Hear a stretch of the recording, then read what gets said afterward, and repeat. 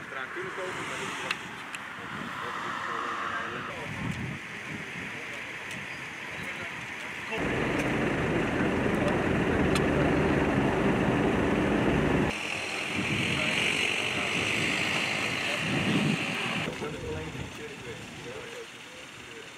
Ja. Het zou wat nauw zijn geweest, maar die is zo'n vrachtwagen natuurlijk ook direct doorgereden. Dat is ook wel een beetje vreemd.